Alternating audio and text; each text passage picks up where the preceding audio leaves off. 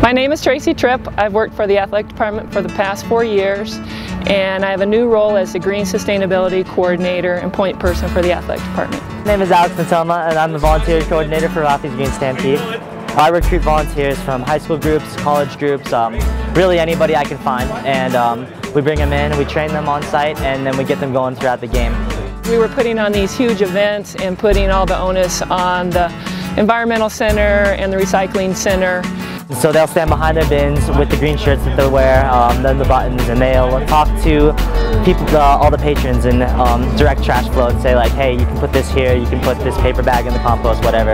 And uh, a lot of people ask questions about the composting process and why CU does this kind of thing. And so we train them to answer those questions too and just to educate the fans about what we do around here.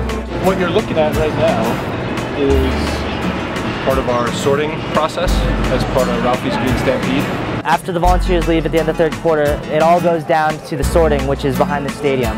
Um, and so then all the trash is laid out on the tables, and um, we have another group of volunteers come and they sort that by hand.